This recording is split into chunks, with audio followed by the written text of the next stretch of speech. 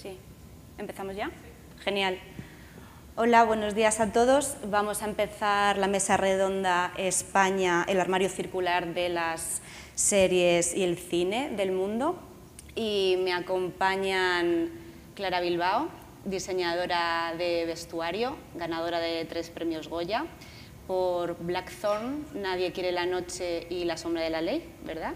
Además de, eres responsable del vestuario de Patria, serie de televisión, de la Fortuna. de, la Fortuna, de Amenábar y de Los favoritos de Midas, Sí. y fundadora de la empresa Un burro de cine, Sí. ¿verdad? Donde eh, hacéis y alquiláis eh, vestuario para proyectos eh, escénicos en general y donde el reciclado y la reutilización de prendas eh, es una de las premisas, de las premisas, claro. fundamentales.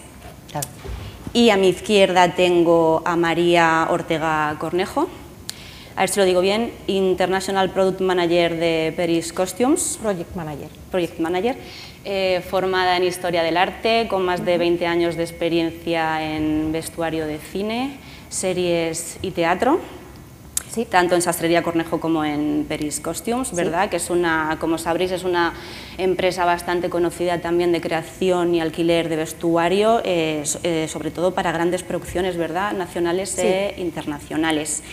Eh, si os parece bien, bueno, yo soy Cristina Sánchez de Pedro, soy periodista especializada en moda, cine y series y me gustaría empezar esta mesa redonda eh, hablando de los conceptos básicos del vestuario de cine.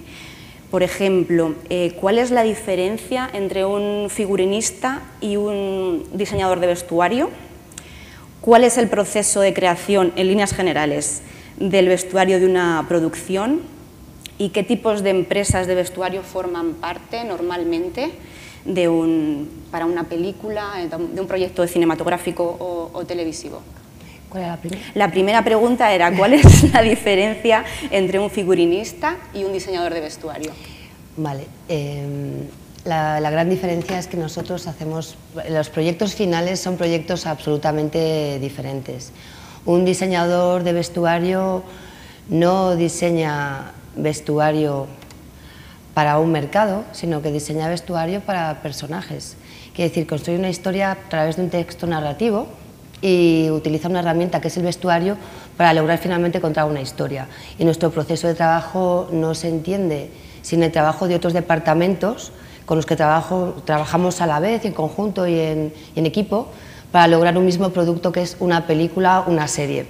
Un diseñador de moda pues es eh, tiene un proceso creativo particular propio que está, y tiene como finalidad conseguir eh, pues, ha- hacer un producto para vender.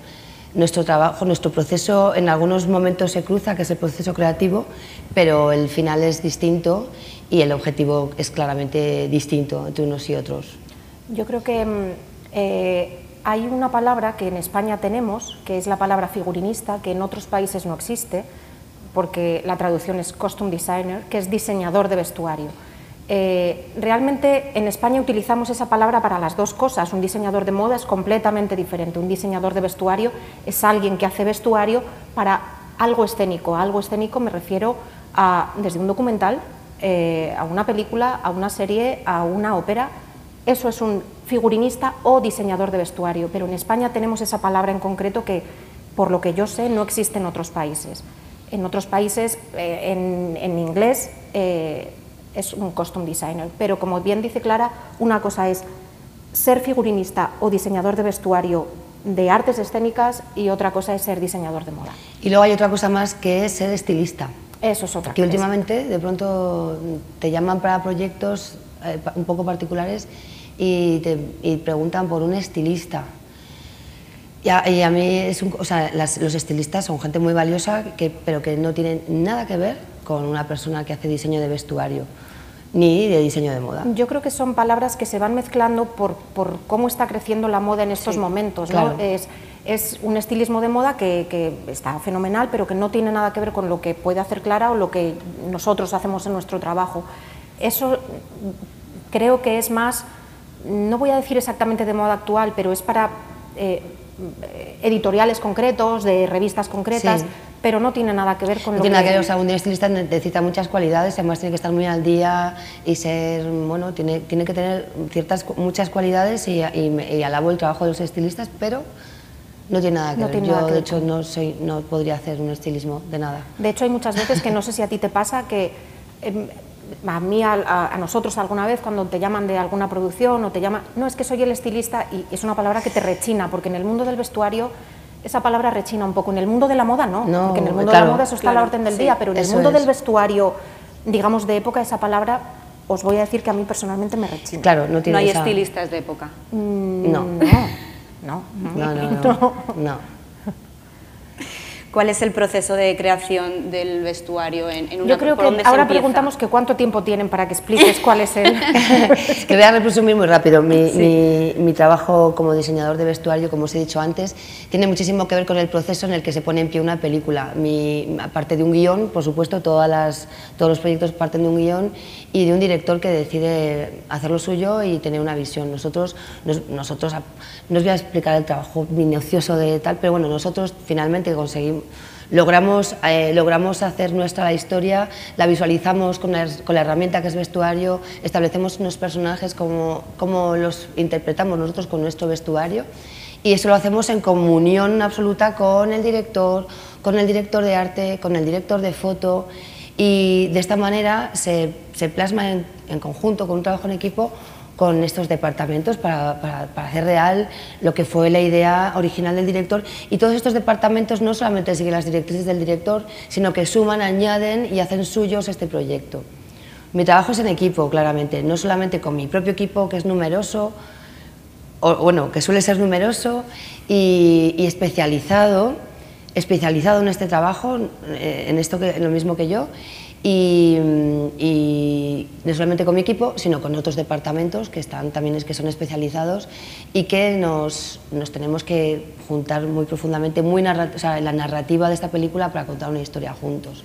Yo en esto añadiría eh, la figura de un personaje que ha, que ha aparecido en los últimos tiempos por el auge de muchas plataformas. Quizá en España no lo vemos mucho, pero hay una figura importante que es el showrunner, que muchas veces es la persona que toma las decisiones junto con el resto de las personas de los equipos que ha nombrado Clara.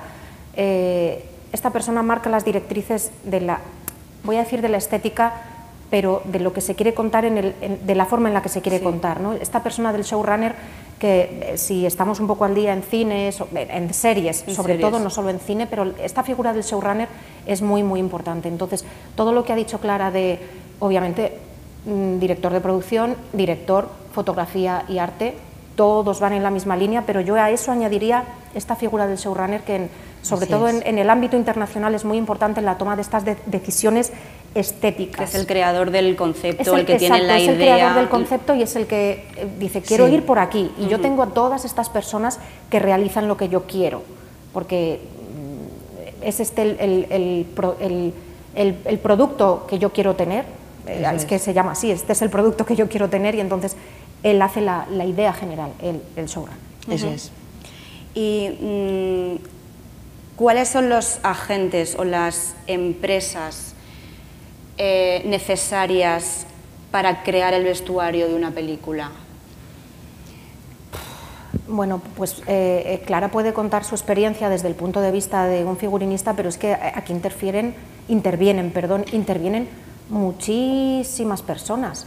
Eh, para crear el vestuario, aparte de que Clara mm, tenga un ayudante especializado en determinadas cosas, otro ayudante especializado en otras, intervienen cosas tan pequeñas, tan pequeñas, tan pequeñas como mercerías, obviamente tiendas de tela, obviamente eh, tintes, calzado, eh, maquillaje, peluquería, interviene sombrerería, intervienen muchísimas cosas. Hay un montón de empresas, por suerte, dedicadas a esto, no solo en España, sino a nivel internacional. Hay muchas empresas dedicadas a esto porque es un sector muy en auge, por suerte. Inter- intervienen muchísimas personas. Y desde vuestro... ¿Te he cortado, Clara? No, no, no, sí, desde, desde vuestro punto de vista, eh, no, perdón, desde vuestra experiencia, ¿se crea mucho vestuario de cine y televisión desde cero? ¿O se reutiliza mucho más de lo que nos imaginamos? ¿O como todo Pero depende del proyecto? Cuando dices de cero, nuevo, nuevo, no es posible. Hombre, a veces sí, si las producciones son pequeñitas, pues sí puedes lanzarte a irte de compras, pero verdaderamente no se sale ganando mucho con esto. O sea, el, final de, las, de la producción no, no, no, es, no es fácil, aparte de los, los o sea, es una profesión en auge, pero no crecen tanto los, los presupuestos, desgraciadamente, y entonces, bueno, partir de cero ni tampoco sería ideal en realidad, no, no, no es siempre necesario, y no es lo común. Partimos de un, de un stock, eh, de un stock que, que, se ha utilizado para otras producciones y que, y que puede servirnos para contar nuestra historia y lo utilizaremos de otras maneras, lo reinventaremos, lo pondremos de diferentes formas en distintos personajes haciendo distintas cosas, pero empezar de hacer una, una producción es muy difícil, sobre todo porque tenemos, no tenemos tanto tiempo. Y yo creo que aquí interfieren perdón, intervienen muchos factores. Uno es el tiempo y otro es el dinero. Eso es. Eh, hay producciones que cuentan con tres meses de preparación y en las que a lo mejor se pueden confeccionar cinco vestidos nuevos o trajes nuevos para un eh, principal masculino o femenino y hay otras producciones internacionales que todo el mundo sabemos o de las que podemos hablar después que tienen año y medio de preparación y en la que hacen, te diré que el 80% de vestuario nuevo, porque sí, o incluso más. Pero yo creo que es muy relativo.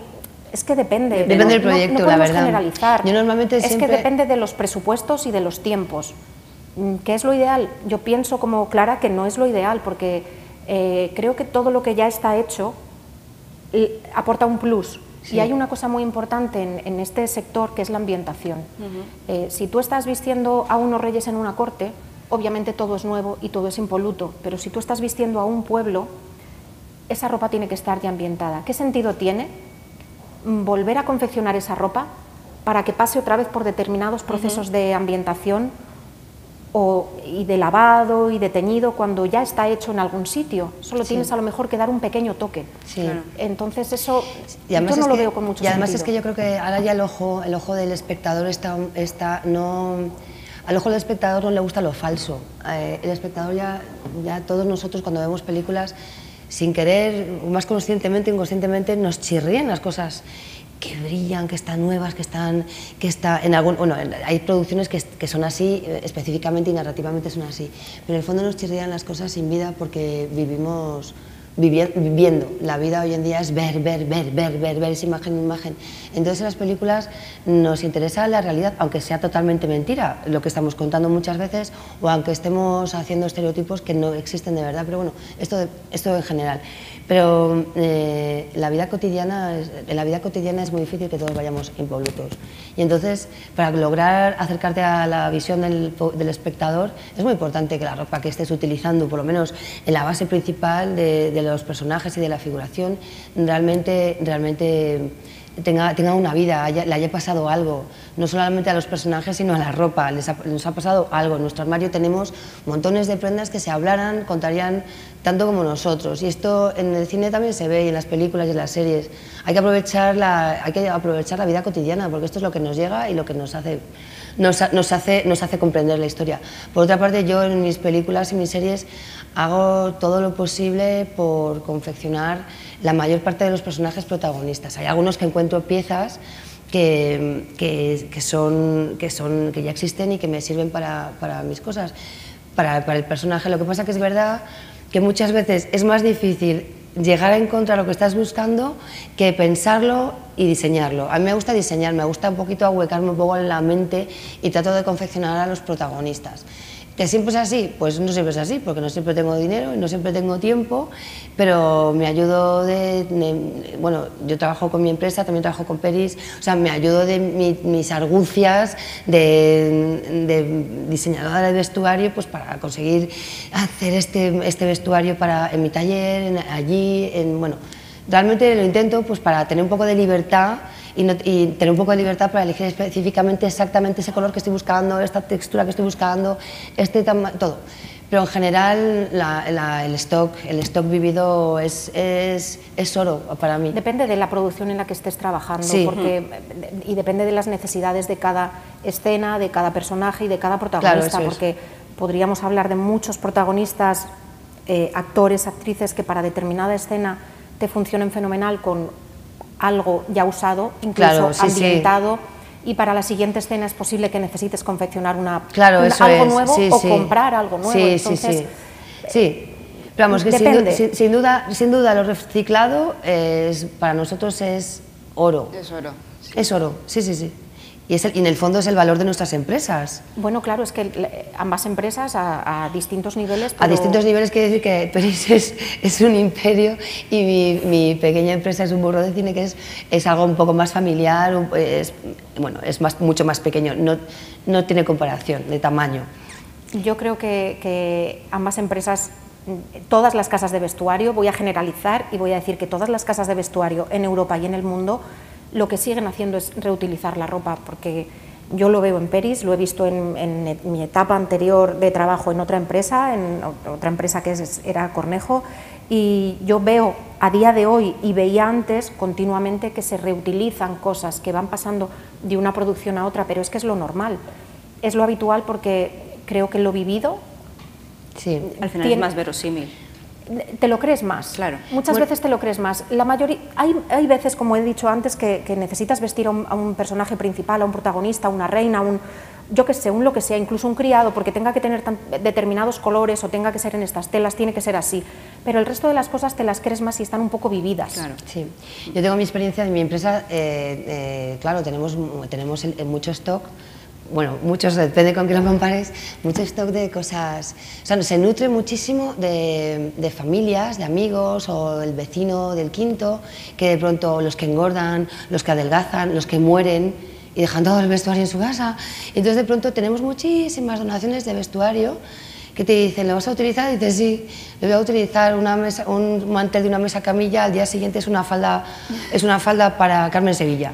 Hoy vi mi mantel en, en una cosa que, ¿sabes? la, verdad es que, la verdad es que no solamente lo reutilizamos nosotros a la hora de hacer producciones, sino que además eh, van cobrando vida de otras personas que, que, la han, vivido, que la han utilizado durante su vida y te dan ropa que tiene 50, 60, 70 años o, dos y, está muy bien. Esto no solamente para nuestras empresas, no solamente da riqueza a los vestuarios como hemos dicho, también, también aporta cierta rentabilidad. No sería posible, no sería posible eh, hacer todo de cero constantemente porque tendríamos, tendrían que haber sido unas inversiones de producción de esas películas brutales, gigantescas, que no se estaba preparado para eso. Inversiones en tiempo y en, en, tiempo especialmente y en dinero también. En tiempo y en dinero. Me hace gracia que, que comentas que mm, todas las empresas nos nutrimos muchas veces de eso, de un amigo o yo que tengo determinada ropa de o mis hijas o lo que sea que ya no tengo, no me vale esto, eh, mi madre tal, me lo llevo a Peris. Sí, nosotros nos nutrimos también de, obviamente, de la ropa que confeccionamos, que el año siguiente la podemos ver en otra producción, y hay otras muchas producciones, hablo de grandes producciones que de repente cinco años más tarde te llaman y te dicen, está toda esta ropa en un contenedor en el puerto de Londres de X producción, ¿lo quieres comprar? Pues obviamente lo quiero comprar como empresa, como Peris. Eh, quiero tener ese vestuario porque es mucho mejor que esté aquí, que lo voy a reutilizar, a que esté, iba a, usar unas palabras que no son muy adecuadas, muerto de asco en un contenedor. Eh, nosotros nos nutrimos también de eso. Eh, tenemos contactos en distintos sitios para poder comprar determinadas producciones que haces una inversión tremenda para una producción y ya nunca más y de pronto aparecen piezas alucinantes que no te, no te puedes imaginar. de vez en cuando aparecen piezas originales, muchas veces aparecen piezas originales, nosotros por suerte, seguro que tú también, en tu stock, nosotros tenemos, por suerte tenemos piezas de 1850, 1880, 1900 que intentamos mm, no, no, tan bonitamente guardadas como aquí en el museo las tenéis, pero bueno, intentamos ahí tener un poquito modestamente y bueno, pues siempre sirven para para ver cómo eran los patrones, para ver, cómo, para ver qué tipo de telas eran, pero de todo eso nos vamos nutriendo, de, tanto de donaciones, como decía ella, o, en nuestro caso un poco más a gran escala por, por, por la gran empresa que es Peris de, de compras de vestuario, porque si no eso se queda ahí almacenado y, no vale para, y no nada, vale para nada. Y de todas maneras yo, yo creo que... si las, si las prendas pudieran, como hemos dicho antes, hablar o escribir un libro, serían novelas históricas maravillosas. Hace muchísimos años, muchísimos años, cuando empecé a trabajar en esto, era, hice un corto, no sabía hacer nada en realidad, ¿eh? pero me llamaron para hacer un corto y tenía que ver con el principito y entonces pues había como unas pruebas de, bueno, no, sé ya no me acuerdo muy bien de qué iba, pero en un momento dado había que encontrar vestidos con el corte del principito de distintas épocas, pues porque había muchos personajes que intentaban ser el principito y en ese momento eh, yo fui a Peris, al Peris de... Antiguo. Al Peris de, bueno, yo tengo 51 años y empecé con 24 entonces, bueno, pues tendría 24. Ese, Peris estaba en la calle Madalena. Estaba en la calle Madalena, en el centro de Madrid, algo que ya no es, no es, pensable. Y entonces, nada, me llevo unos abrigos, cojo uno de aquí, uno que me gusta, otro tal, y cuando estamos, vamos a rodar, de pronto en uno de los abrigos, era un abrigo como militar gris, de pronto pone Omar Sharif. Claro, eso. Toma ya. Y bueno, lo cuentas y se me pone la carne de gallina. Y a mí también. Pues, pues imagínense, este es un ejemplo cualquiera. Ahí está la ropa de. Hace poco, haciendo otro vestuario, no sé qué, de pronto hay un, traje, una casaca, no sé quién, que, una, una casaca militar que es de Hugh Grant. Y claro, imagínense todo lo, que se mueve, la de cosas y la, y la, vida que va aportando las prendas. Y eso se transmite por me, A mí eso es algo que, me, que me, me, llama mucho la atención y me gusta mucho porque tanto eh, tanto ahora como antes, me voy fijando mucho en, determinadas prendas y en la etiqueta. Eh, yo ahora, aparte de las, de las producciones de las que vienen, de los actores o las actrices que lo han llevado, el haber tocado una prenda tan emblemática como esa te hace sentir algo, el haber tocado una prenda que ha podido llevar Hugh Grant o que ha podido llevar a Gardner en determinado momento, o prendas de mucho, muchísima más actualidad de producciones del año pasado o el año anterior, te hace pensar, madre mía, es que esto estaba hace nada aquí rodando o hace 50 años rodando y ahora lo tengo yo. Entonces, todo eso... Y sigue vivo. Y sigue vivo. Y son prendas y seguirá viviendo vidas. Nosotras tenemos mucho amor a nuestras prendas y cuando una desaparece te da una, pena loca. ¿Y por qué, por qué es tan importante el armario del cine español a nivel internacional? Bueno, en España, en España yo te digo que hay dos empresas muy importantes eh, tradicionalmente ha habido una, que ha sido Cornejo, que ha sido un, punto en, las sastrerías. Ahora Peris ha crecido mucho desde, digamos, desde el 2014-2015 hasta parte. Peris es un, un top, un referente mundial. Hay otras cuantas sastrerías en Europa que son muy buenas y todas son complementarias. Ni una es mejor que la otra, ni la otra es mejor que una. Eh, yo trabajo para Peris y yo te diré que Peris tiene un stock muy bueno, pero hay otras casas de vestuario que también lo tienen. Nos hemos convertido, por suerte, en España en un referente, porque tenemos muy buen vestuario y sabemos hacer bien las cosas. Eh, hacer una producción nacional supone muchas veces no poder irte fuera al extranjero o por tiempos o, por dineros a alquilar vestuario. Entonces cuentas con los recursos que tenemos en España, que son muchos y muy buenos. Entonces vas a una empresa como Peris o una empresa como la de Clara eh, para eh, contar con esas piezas que necesitas para hacer tu producción. Si estamos hablando de una macroproducción, tienes quizá otros recursos, pero en España hacemos, personalmente creo que hacemos muy bien las cosas en este sector. Sí. Eh, ¿Cuál es la si recordáis, bueno, si, recuerdas en Peris la prenda o prendas que como que más vueltas han dado, que, han salido en, más películas pues o en más mira, series. Yo en Peris llevo ahora exactamente cuatro años y hay prendas que directamente es que veo entrar y al día siguiente veo salir. Te lo puedo asegurar porque son prendas, no, no es que sean una prenda específica, es que es determinada época que ese grupo de prendas, te puedo hablar de la cota de malla, o te puedo hablar de unos uniformes diplomáticos, o te puedo hablar de unos vestidos bato de más o menos 1700, 1780, que es que no paran de salir, porque hay muchas producciones de esa época y eh, todo el mundo en, el, Europa, todo o, bueno, en Estados Unidos, todo el mundo en este sector sabe que para conseguir este tipo de prendas tiene que ir a una empresa como Peris, una empresa como lo que sea, para conseguir lo que le falta. Entonces, hay prendas realmente que no, no te preocupes que todavía no ha llegado, pero en cuanto llegue yo te lo mando. Eso todos los días. En el vuelo hay unos cuantos, hay unos cuantos, es toda la silla, ¿eh? hay unos cuantos, hay muchas cosas que les pasa eso que dices tú, pero por ejemplo hay unos cuantos polos de los años 50 que bueno, que tienen las particularidades de los politos de caballero de los años 50, que eso es todo el rato. Entran, salen, entran, salen. Y hay un conjunto que es como un vestido camisero con una chaquetita, que es de mi madre cuando tenía 30 años, que todo el rato llega alguien, oye, ¿tienes el vestido de tu madre? No, no, no, tiene no sé quién. Ya ha salido en una publi, en otra publi, en otra publi, en otra publi, en otra publi, en otra publi, en otra peli, en otra serie. Y este personaje un día es una chica joven, otro día es una señora, otro día es un no sé qué, otro día solamente, otro día...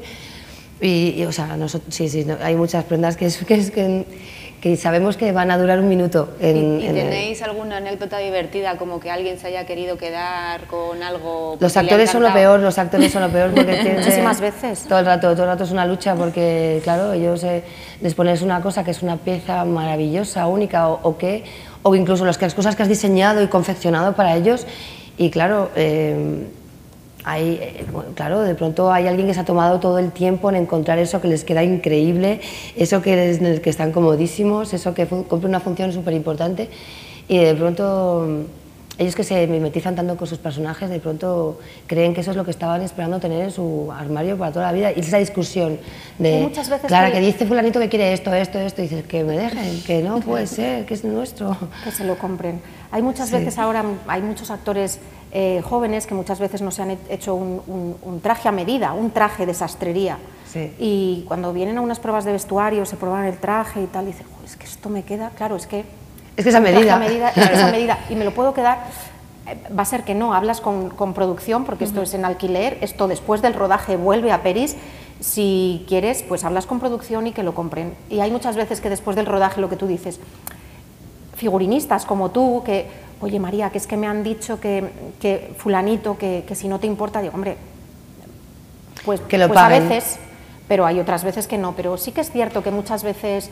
Se, hay flechazos. Bueno, y hay actores, eh, ahora hablo a nivel internacional, que hay actores que se quedan con tan, tan, tanto amor con sus personajes que sí que, eso lo hemos leído todos, que, que sabemos que Russell Crowe en su rancho o en su casa de Australia tiene uno de cada traje de sus películas, un traje de cada una de sus películas. porque porque él es así, lo debe firmar por porque contrato y, y porque si lo tuviera que pagar lo podría pagar perfectamente. Exactamente. Y también hay actores, hay actores además que tienen por contrato que se pueden quedar con el vestuario de la película. Mm. Hace muchos años cuando hicimos Nadie quiere la noche de Isabel Coixet con, con Juliette Binoche, que es la protagonista, ella bueno, se la, bueno, pues a ver, es un vestuario de 1917 es una expedición al Polo Norte, son todo prendas de astrakhan, de piel, de briva, o de paños maravillosos, teñidos, bueno, tiene un trabajo bestial y un valor económico bestial. Y entonces, claro, yo esto no lo sabía cuando, y cuando, y cuando íbamos a mitad de la película, de pronto su representante que estaba por allí o su manager o lo que sea me o sea, me dice mi productor que le ha dicho ella que, toda esta, que todo esto se va a su casa. Se lo queda. Se lo queda. Y, digo, no, ni de coña, ¿cómo se va a quedar? Y gracias a que aquí en el museo, como había estado preparando aquí la, la, documentación. documentación. me había documentado, me había, había, estado viendo prendas por dentro, por fuera, por un lado, por otro, había estado con Lucina y con todos los asesores de aquí, que, me habían, que aquí son como mis hermanos, pues pues claro, se había planteado una exposición aquí de la película y esta fue la excusa y se pudo mover a base de abogados, papeleo, para, que, no se lo quedara. no se lo quedara. Al final es verdad que terminó hasta las pelotas, perdón, del vestuario, porque, porque es un, era un vestuario muy pesado, muy, muy, muy, muy duro, el, el, rodaje fue muy duro y al final ella, lo que pensaba al principio de la película del vestuario, al final solo quería quitárselo y perderlo de vista. te lo quieres quitar de encima y olvidarlo. y olvidarlo. Sí, sí, pero es verdad, y hay, hay, veces que va por contrato, maja, y eso, y para nosotros que hacemos el vestuario y tal, que, que desaparezca de nuestras manos y se vaya a una casa, o que de pronto le has diseñado un vestuario maravilloso y específico.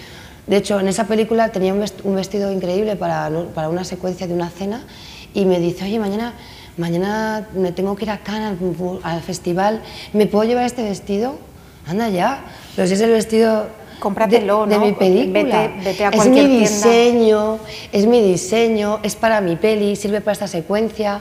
¿Cómo vas a estar paseándote por Cannes con mi vestido?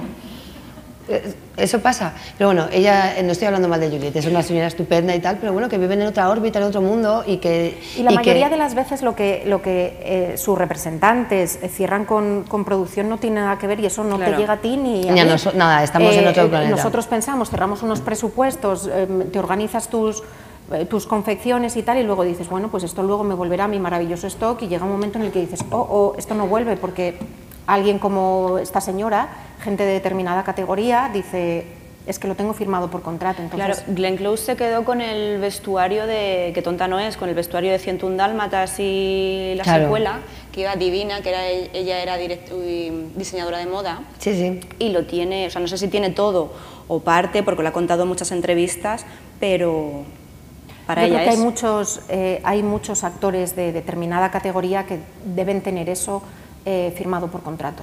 Claro, y sobre todo esas producciones que les van a pagar lo que no está escrito, pues pueden incluir en su presupuesto este vestuario. Este vestuario y muchas veces este vestuario es doble o triple. Porque, Muchas veces. Porque, porque hay dobles, porque hay necesidades para no lavarlo todos los días, bla, bla, Hay sangre, hay dobles a caballo, hay ambientaciones, hay caídas de agua, hay ríos, hay lo que sea. Claro, pero en las producciones que hago yo, que no he hecho nada con Glenn Close, no sé cuándo va a ser ese momento, pues en las mías, desde luego que la actriz se lleve el vestuario es muy doloroso, muy doloroso, porque en mis, esas producciones no, no pueden hacer frente a ese gasto y, es una lucha y además al final, como es tú la que dices, no soy yo, es que son las circunstancias. nosotros ahora recientemente en alguna producción que todavía no se ha estrenado, no digo los nombres, pero son más o menos actuales, actuales quiero decir de ropa actual, hemos hecho mucho doble, triple, cuádruple, quíntuple, sextuple, etcétera, etcétera, para eh, dobles, dobles a caballo, claro. Eh, doble por disparo, doble por disparo en el otro lado por si acaso, doble por disparo por si acaso en el pantalón, mucho. En, el año pasado recuerdo dos en concreto, no se han estrenado todavía, pero eso es muy habitual. Y ahora la que vais a hacer conmigo va a ir un señor que le dan un navajazo, otro que le dan unos... Bueno, pero en, la, en esta que, que, estamos haciendo contigo le darán el navajazo en la camisa para que sea más barato, porque eso también influye, ¿eh? Eso también influye. No es lo mismo eh, el hacer una camisa que el hacer una chaqueta. Así que es posible que le den el navajazo o desnudo o solo en la camisa. fijaos en el coste de, de, de, vestuar, de lo que puedes repetir los vestuarios, que últimamente ya se está practicando hacer las desgracias eh, decir, los navajazos, eh, los tiros, todo eso, se está haciendo ya en postproducción digital, de tal manera que tú solamente tengas que tener un doble, solamente uno, para tener una mancha de sangre con el resultado final y no tener muchos para, para, repetir, o sea, porque tened en cuenta que se hace una, una, secuencia de un disparo, pues esta ropa, eh, esa secuencia puede salir a la primera, pero a lo mejor siempre no sale a la quinta y son cinco chalecos. Bueno, y nunca se sabe si ese día va a llover o no va a llover, y esa secuencia la tienes que rodar sí o sí ese día, porque al día siguiente tienes otra secuencia completamente distinta y, oh Dios mío, no tengo un doble, no tengo, o no tengo un triple, por esas cosas pasan, sí, claro. Sí, sí. ¿Y cuál creéis que es el proceso para convertir una prenda que se ve en una película o en una serie en algo icónico?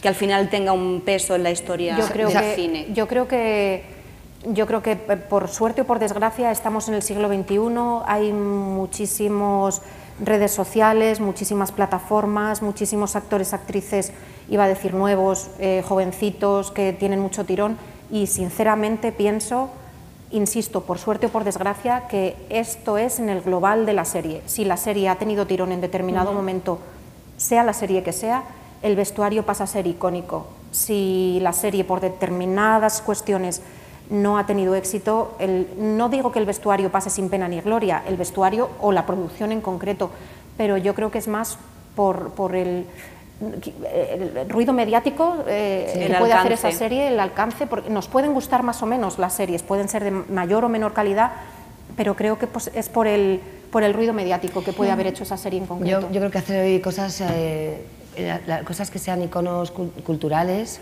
eh, esto se está perdiendo mucho, o sea, lo vertiginoso del consumo de películas y series, lo vertiginoso o sea, nosotros tardamos nueve meses en hacer una serie, pero luego se ven en una tarde.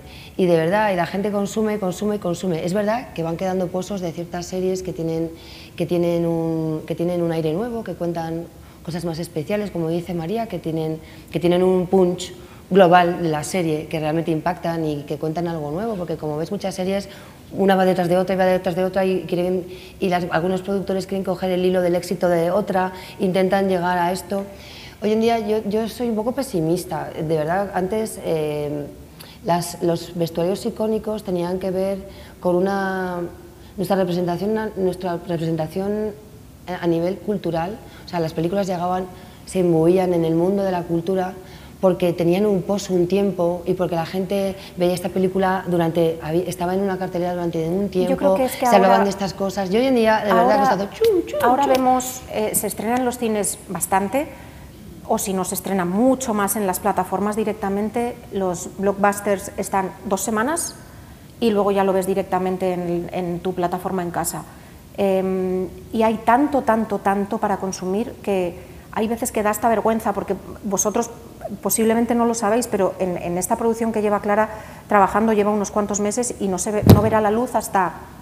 ¿Cuánto?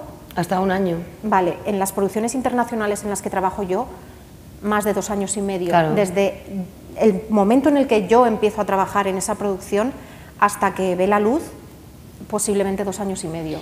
Y luego hay otra cosa, y es que las series persiguen, o sea, hay algo que cuando digo que soy pesimista es porque de pronto hay series que, que, dan, que, de verdad su estética a nivel de vestuario, a nivel de peluquería, maquillaje, por ejemplo, voy a poner el ejemplo de Euforia, realmente, realmente se hacen eco de una sociedad que para mi gusto, en el mundo de Instagram, en el mundo del TikTok, la imagen, la imagen, la imagen, la juventud, la juventud, la juventud, la belleza, la belleza, la belleza, la, sensualidad, la sensualidad, la sensualidad. Entonces, cuando de pronto tienes una serie que aúna chicos, chicas guapas, chicos, chicas jóvenes, chicos, chicas que hacen lo que les sale del moño, chicos, chicas que se ponen lo que quieran, porque todo les queda bien, chicos, chicas tal, y de pronto eh, aunas todo eso que la, que la sociedad demanda, que esta sociedad que tiene, esta sociedad que tiene tanto apego y tanto amor a la juventud ya ya lo nuevo y a lo distinto, y todo es, y todo es igual, igual, igual, solo que repetido en... Bueno, no todo es igual, es mentira, tampoco soy tan pesimista, pero... Pero, pero extrapolado a otra época.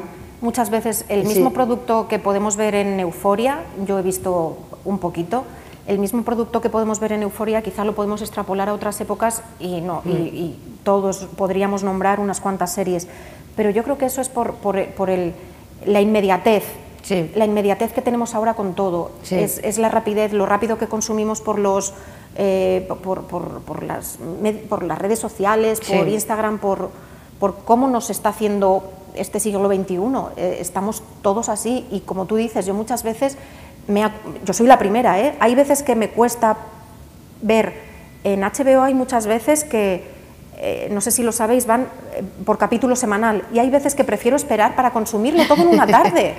porque digo, no puedo esperar la semana que viene, pero ¿cómo no vas a poder esperar si esto no pasa nada? Si, antes esperábamos. Hombre, antes esperábamos a todos los lunes que ponían la serie que te gustaba, o todos los miércoles, o el día que fuera, o el programa que te gustaba cuando eras eh, pequeño, y ahora muchas veces es, no, no, no puedo esperar a la semana que viene, lo veo todo el tirón. Es un poco a lo que nos hemos acostumbrado, mm, sí. y esto sí que digo por desgracia. Yo no, soy, yo no soy consumidora de series porque no tengo tiempo, ahora yo consumo películas infantiles solamente porque tengo una niña un poco pequeña, de 5, pero, pero es verdad que estás un poco fuera. O sea, yo llego, a una, yo, yo llego a cualquier reunión con el productor, el director, no sé qué, sí, un poquito el rollo euforia, el rollo pim, pam, series que dejo. Ahora llegas por la noche, tengo que empezar a ver capítulos de cosas, a ver si me aclaro y me... No soy consumidora y, y estoy completamente out de, no, soy consumidora de Instagram, ni de TikTok, por supuesto, ni de nada de todo esto.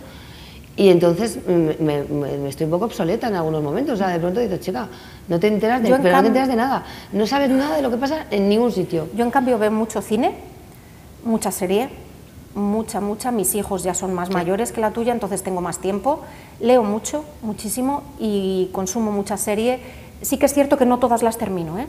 Porque eh, hay veces que veo que no, que no va por donde yo quiero ir o que, o que no es el momento, a lo mejor la empiezo y no es el momento, eh, yo que sé, hasta personal, porque me cuesta ver determinadas cosas y espero dos meses y la puedo ver, pero sí veo mucho y en eso sí que estoy muy al día. Leo mucho, pero insisto, creo que nuestra situación personal es distinta porque mis hijos tienen 17, 16 y 12, entonces es Claro, y, aparte, y aparte al final, aunque yo me lo quiera perder, pues no es posible, porque al final tienes que ponerte las pilas y las cosas y por eso puedo opinar. Pero creedme que si a mí hay algo que me... En cuanto hablamos de referencias y de y cosas icónicas, me duele un poco esta, esta generación que, que se, se apoya tanto en la, en la estética y en la belleza y en la juventud. Será porque esos tiempos míos han pasado, no sé si es porque me da rabia, pero en realidad, en realidad creedme que, que algo, que, hay algo que, que piensa, todo es muy superficial y se habla, se habla de moda sostenible y de ecologismo y de, y de esos avances que las, nuevas, que las nuevas eras, ante la problemática del cambio climático y todas estas cosas, que todo, al final todo forma parte de un mismo desagüe en el que está tamizado por una pátina de preciosismo y de, y y de que mola, todo mola y todo es guay, todo es no sé, a mí, a mí me, aturulla un poco. Ya lo digo, yo estoy un poco obsoleta, no esto, esto estoy haciendo un comentario muy personal. Estás un poco pesimista, pero... ¿Serían esas las claves para influir en el consumo de, No, en el consumo no, en la utilización de prendas antiguas a través de la pequeña o la gran pantalla? O sea, habría que recurrir a belleza todo mola utilizarlo como utilizarlo como una como un, o sea como una ayuda el hecho, sí lo que pasa que sí pero es que yo, nosotras llevamos ella desde en su sitio yo desde el mío llevamos toda la vida haciendo reciclado de ropa. O sea, nosotras sí que sabemos lo que es, sí es que sabemos lo que es el vintage, pero de verdad, o sea, de verdad, de verdad. Pero es que sabemos hasta lo que es lo que tú dices. El, el ejemplo que has puesto de esto antes era un mantel, yo tengo también ejemplo de esto era una cortina, ahora es una falda. Eso nosotras lo llevamos viviendo toda la vida, cada una desde nuestro eh, ambiente, desde nuestro sector, que es muy cercano, pero, pero es, diferente. Eso nosotras lo llevamos viviendo siempre, pero podemos luchar contra un gigante asiático que se llama Shane. Eh, en fin, hay muchas cosas que influyen en esto. y nosotras estamos intentando hablar de un vestuario quizá de época, ¿vale? Que ahí es mucho más difícil, pero cuando estás hablando de, cosas más o menos que puedes comprar en el día, o, lo quiero ya, o lo consumo ya, o no, es que hay que esperar, es que esto no está hecho todavía. Esto, para hacer esta prenda de sastrería, se necesitan 15 días de trabajo. Y hay gente, no sé qué ha pasado. Sí. ¿Ahora? No. Algo pasó y ya no me oís. Vale. ¿Ahora? Sí. sí. Hay gente que no es clara porque tiene mucha experiencia en esto, que cuando le dices, no, es que si tú quieres este traje o este vestido o eh, esto necesita este proceso de trabajo y ¿verdad? Tú eso lo has vivido. Eh, necesito 15 días para confeccionar esto. No, no, lo necesito mañana. Eh, lo siento mucho, pero si esto sigue los procesos que tiene que llevar tanto en sastrería como en modistería, esto se tarda X tiempo. Entonces, esa inmediatez en nuestro mundo es relativa, por suerte. Y, quería hacer un comentario respecto al reciclaje de la, y que si esto, que es el bonitismo y lo guapo nos puede ayudar a promover el vintage. De pronto leo un artículo, Zendaya, Zendaya mm, está, colabora con sus looks vintage en la pasarela, en, en no sé qué no sé qué alfombra roja y la otra roja y la otra, las 7.000 rojas que haya, con un vestido de Versace, Valentino, PTT del año 2001, de 1900, pa, y dices, anda ya, no, no. O sea, no, esto no, no, es. no, es reciclaje. Y por mucho por muy guay que seas Zendaya, no es reciclaje. O sea, esto es que ese vestido mola y está muy bien. O sea, que a mí me parece bien, que, no, que me parece bien. si yo me pongo el vestido de no sé qué, yo me pongo siempre lo mismo. Pero que, pero que, que me parece bien. Pero que, que estamos que incluso ese proceso en el que estamos hablando de moda circular y de, de reciclaje y de hacer bien al mundo y de todo esto, de verdad, las que lo hacemos en, nuestro campo somos, empresas como estas, porque, cuando te, porque, porque como, como os decía antes, todo viene tamizado por lo guay y lo que mola. Y de pronto tengo que escuchar que Zendaya es súper ecológica, anda ya, macho, no, no. que me, que me, o sea, que me, que, me, que me parece muy bien que se ponga lo que quiera, pero, pero no es así, esto no es de lo que estamos hablando. Y no nos confundamos, si la gente que está leyendo eso piensa, ay, qué guay, ay, qué... qué... Dices, no, no, es tu, no puede ser eso es tu ejemplo.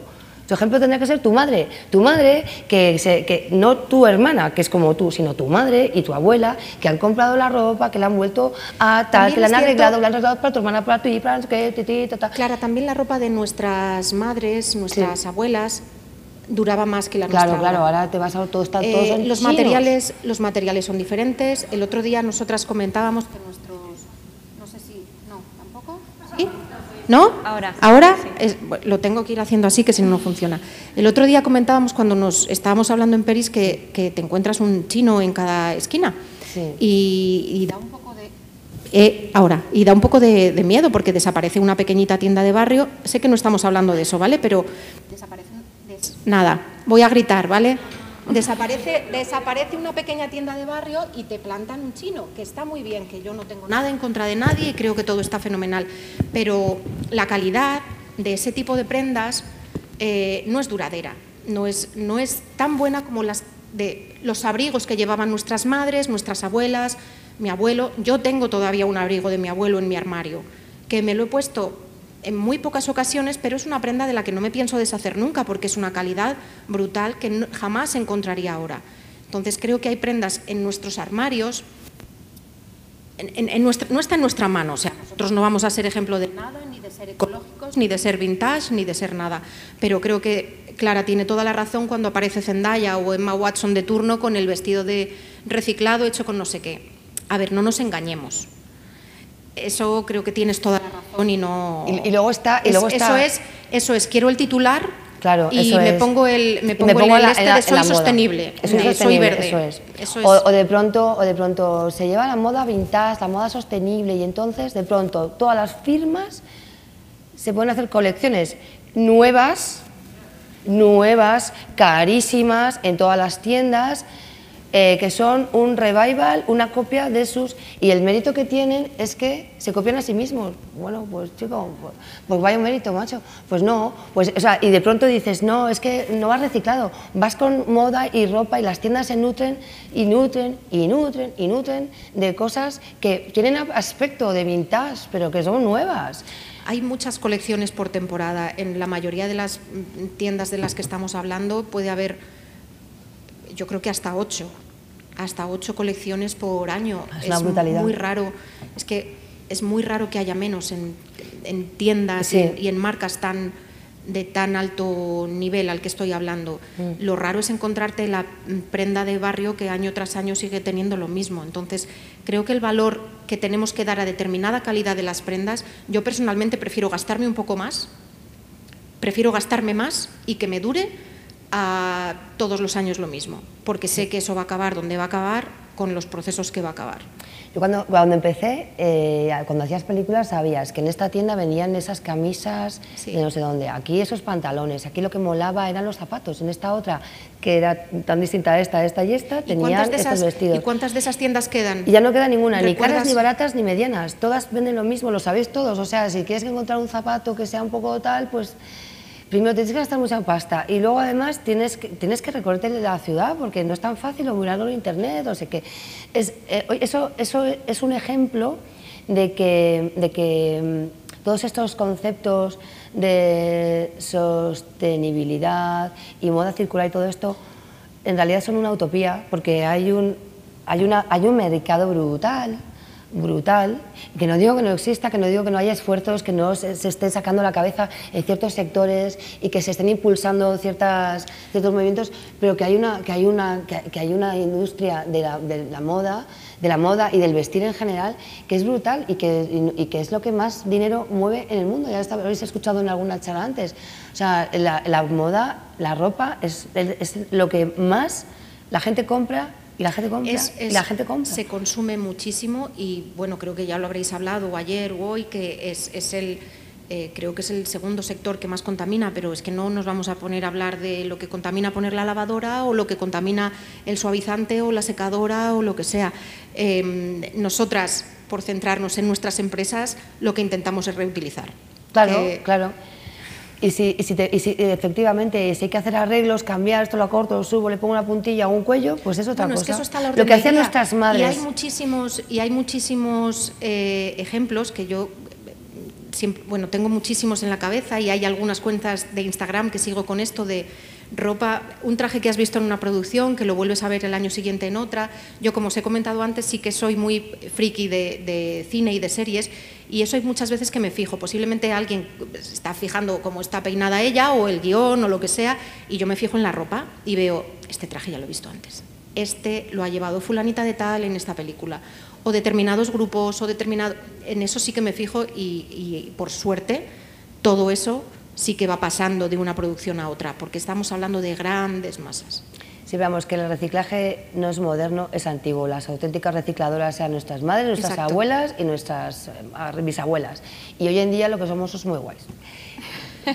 No, es verdad. Eh, sí, que es cierto que estamos intentando, bueno, estamos, están intentando eh, los materiales, trabajar en otros materiales, eh, reciclar que si las botellas de plástico, que no se contamine el mar, un montón de cosas que todo eso personalmente creo que está fenomenal pero por otro lado pienso como Clara, no nos engañemos. Sí, vamos a ver. es un pequeñito y estamos solo sacando la cabeza en eso. Que de pronto hay empresas que reciclan botellas, redes, y aparece el abrigo que cuesta un riñón. Pues vaya, sostenible, macho, no es sostenible porque no es para la gente. Lo sostenible es lo que arrastra las masas de la sociedad a consumir.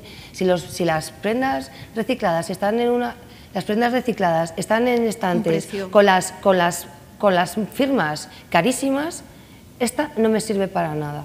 De verdad, no me sirve para nada. No es, porque eso no arrastra, a la, no arrastra al colectivo, que es en el que en realidad y en el fondo es el único que puede cambiar las cosas. Y no sé cómo vamos de tiempo realmente, pero queda una última pregunta. ¿No? No. te dicen que si alguien quiere preguntar, ah, porque no hay tiempo. Que nos hemos enrollado. no habré sido yo. Allí hay ¿Alguien quiere preguntar? Allí atrás. Allí.